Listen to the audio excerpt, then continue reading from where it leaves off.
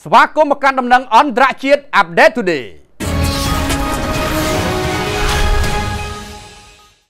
មន្ត្រីយោធាអ៊ុយក្រែននៅពេលថ្មីថ្មីនេះបានជូនដំណឹងថាអាវុធដ៏សំខាន់មួយរបស់រុស្ស៊ីនៅក្នុងទីក្រុងណាវ៉ានៃភាគខាងត្បូងប្រទេសត្រូវបានខ្លួនបាញ់កំទេចហើយដោយប្រើប្រាស់មីស៊ីលដែលសហរដ្ឋអាមេរិកផ្ដល់ឲ្យតាមការដកស្រង់ដោយភ្នាក់ងារសារព័ត៌មានអន្តរជាតិ BBC បានបន្តឲ្យដឹងថា ផ្ទះមួយចំនួនរួមទាំងឃ្លាំងអាវុធរបស់រុស្ស៊ីនៅក្នុងទីក្រុងណាវ៉ាត្រូវបានកងកម្លាំងអ៊ុយក្រែនបាញ់មីស៊ីលកំទេចនាំឲ្យទាហានយាមកាមនៅក្បែរនោះ7នាក់ស្លាប់និងជាង80នាក់ផ្សេងទៀតរងរបួសប្រភពរដាលខាងលើមិនបានបញ្ជាក់អំពីតួលេខពិតប្រាកដនៃទំហំខូចខាតនិងអ្នកស្លាប់នៅឡើយទេប៉ុន្តែអ្វីដែលទទួលបាននោះគឺថាវាគឺជាការវាយប្រហារដ៏ធំមួយពីសំណាក់កងកម្លាំងរបស់អ៊ុយក្រែនមកកាន់ទាហានរុស្ស៊ីដែលកំពុងតែកាន់កាប់ទឹកដីរបស់អ្នកដទៃ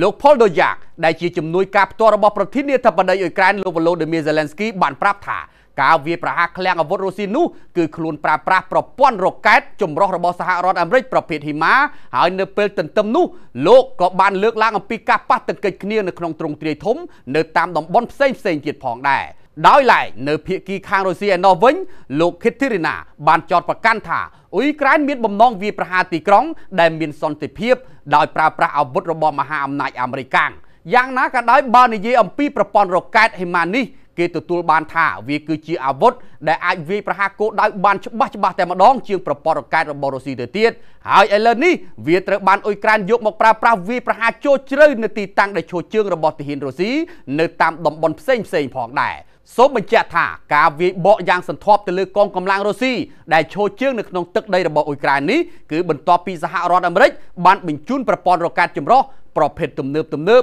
មកកាន់រដ្ឋាភិបាលរបស់លោក Volodymyr Zelensky នៅពេលថ្មីថ្មីនេះ ម្យ៉ាងវិញទៀតក៏អាចជាសញ្ញាព្រមានថ្មីមួយពីភាគីអ៊ុយក្រែនទៅកាន់រដ្ឋាភិបាលរុស្ស៊ីផងដែរបន្ទាប់ពីកងកម្លាំងប្រទេសយៈនុយក្លេអ៊ែរនេះបានបាញ់កំទេចអាគារស្នាក់នៅរបស់ពលរដ្ឋមួយកន្លែងនៅក្នុងទីក្រុងខាស៊ីវដែលបណ្ដាលឲ្យពលរដ្ឋស៊ីវិល48នាក់បាត់បង់ជីវិត។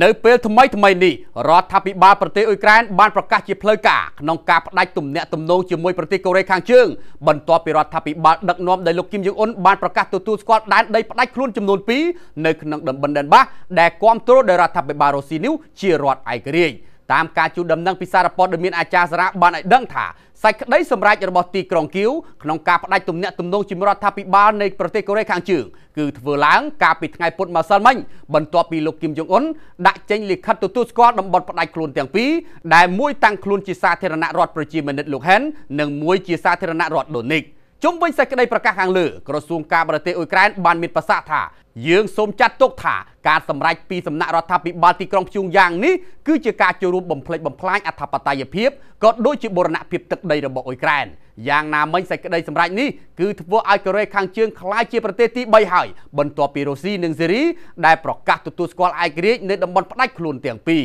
ពាក់ព័ន្ធទៅនឹងសារគាំទ្ររបស់កូរ៉េខាងជើងនេះមេដឹកនាំផ្ដាច់ខ្លួននៅតំបន់ដូនេកដែលហៅកាត់ថា DPR គឺលោកដេនេះបានសម្ដែងក្តីសង្ឃឹមថារដ្ឋខ្លួនអាចនឹងកសាងកិច្ចសហប្រតិបត្តិការក៏ដូចជាពង្រឹងផ្នែកពាណិជ្ជកម្មល្អបន្ថែមទៀតជាមួយកូរ៉េខាងជើង សូមបញ្ជាក់ថាប្រទេសរុស្ស៊ីដែលបានប្រកាសគាំទ្ររដ្ឋផ្ដាច់ខ្លួនទាំងពីរតាំងពីឆ្នាំ2014នោះបានប្រកាសទទួលស្គាល់ឯករាជ្យដែនដីទាំងពីរនៅថ្ងៃទី24ខែកុម្ភៈនៅពេលនោះដែលជាពេលដែលខ្លួនបំផ្ទុះសង្គ្រាមជាលើកដំបូងជាមួយអ៊ុយក្រែនផងដែរ បន្ថែមពីនេះរដ្ឋាភិបាលវិមានក្រមឡាំងរបស់រុស្ស៊ីបានសម្រេចបើកការឈ្លានពានដែលហៅកាត់ថាជាប្រតិបត្តិការយោធាពិសេសនៅអ៊ុយក្រែនដោយលើកហេតុផលថាដើម្បីការពារពលរដ្ឋដែលនិយាយភាសាខ្លួន នៅក្នុងតំបន់ដិនបាសដើម្បីរំដោះពួកគេចេញពីអំពើប្រល័យពូជសាសន៍ ភ្នាក់ងារសារព័ត៌មានរយទើកាលពីថ្ងៃពុធម្សិលមិញនេះបានចុះផ្សាយថារដ្ឋធានី Port-au-Prince នៃប្រទេសហៃទីបានជួបប្រទះវិបត្តិស្បៀងអាហារនិងធម្មពលប្រេងគណៈក្រុមអន្តរជាតិពីរក្រុមធំធំបានបើកឆាកប្រយុទ្ធស៊ីសាច់ហត់ឈាមរាំងស្ទះដល់ការដឹកជញ្ជូនទំនិញផ្សេងៗចូលទីក្រុងនៅក្នុងវីដេអូពីប្រភពដដែលខាងលើបានរកឃើញថា ពលរដ្ឋជាច្រើនអ្នកនៅក្នុងរដ្ឋធានី Port-au-Prince នៃប្រទេសហៃទីបានចេញធ្វើបាតកម្មបិទផ្លូវនិងដុតសម្បកកង់ឡានព្រោះខឹងសម្បានឹងបញ្ហាខ្វះប្រេងនៅក្នុងទីក្រុងយ៉ាងណាមិញបញ្ហាខ្វះស្បៀងអាហារនិងប្រេងនេះទៀតសោតគឺដោយសារតែមានការបើកឆាកប្រយុទ្ធគ្នាដ៏ធំរវាងក្រុមអន្តរជាតិពីរក្រុមដែលមានរហស្សនាមថា G9